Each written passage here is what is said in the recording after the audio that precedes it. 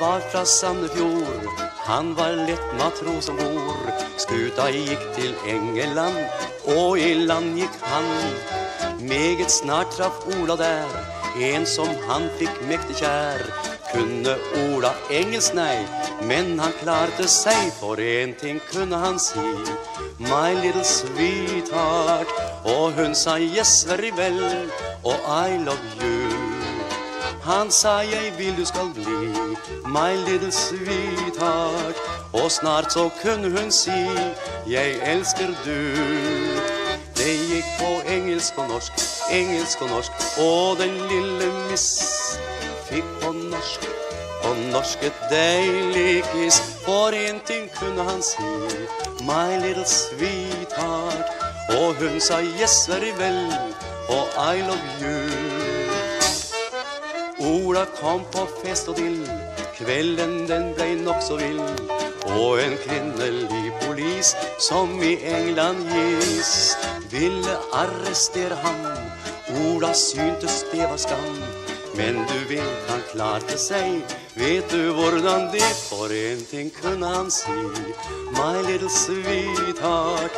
Og hun sa yes very well, og I love you.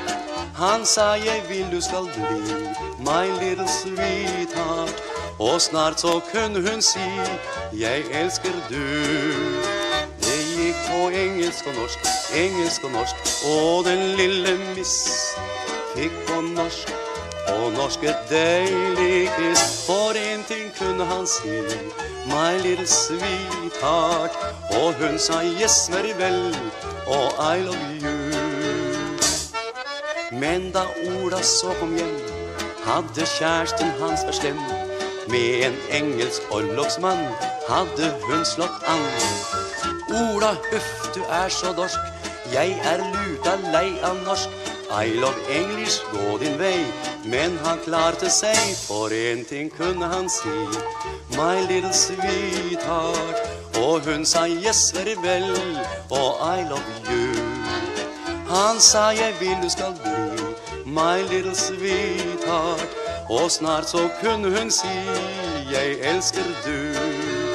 Det gikk på engelsk og norsk, engelsk og norsk. Og den lille miss fikk på norsk. På norsk et deilig kiss. For en ting kunne han si, my little sweetheart. Og hun sa yes very well, og I love you.